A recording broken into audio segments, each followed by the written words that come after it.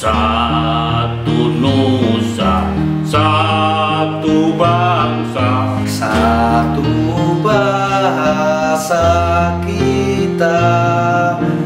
Tanah air pasti jaya untuk selama-lamanya. Indonesia pusaka.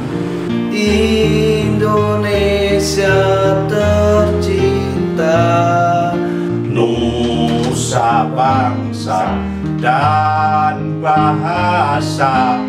Kita bela bersama.